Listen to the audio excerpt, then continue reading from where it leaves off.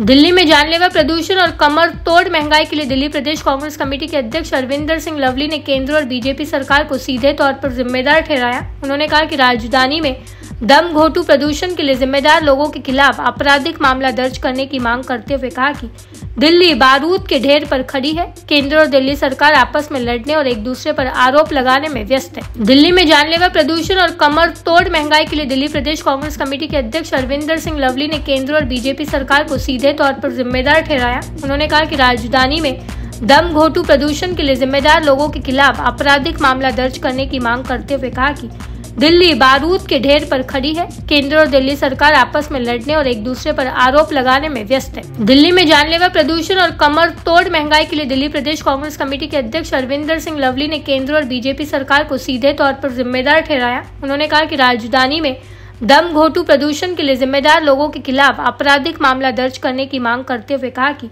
दिल्ली बारूद के ढेर पर खड़ी है। केंद्र और दिल्ली सरकार आपस में लड़ने और एक दूसरे पर आरोप लगाने में व्यस्त है।